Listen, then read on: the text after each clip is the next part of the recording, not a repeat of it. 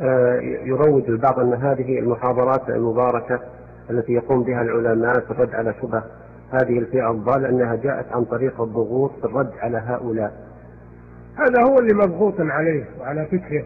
اللي يقول هذه المقالة هو اللي مضغوط عليه من قبل أهل الباطل. أما العلماء فليس عليهم ضغط وإنما يبينون الحق ويبرئون الذمة ولله الحمد.